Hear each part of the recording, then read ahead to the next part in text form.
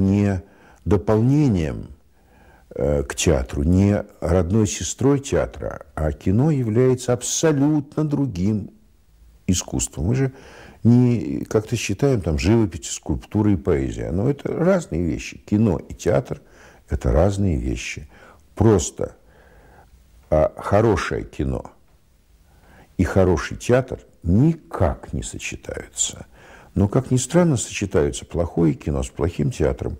Это, что называется, близнецы. Это и сближает. А так, там текст, здесь текст, там артисты, здесь артисты. Но все остальное наоборот. Допустим, весь театр держится на системе оценка.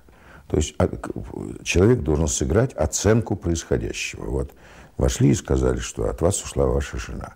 И там надо как-то это дело оценивать.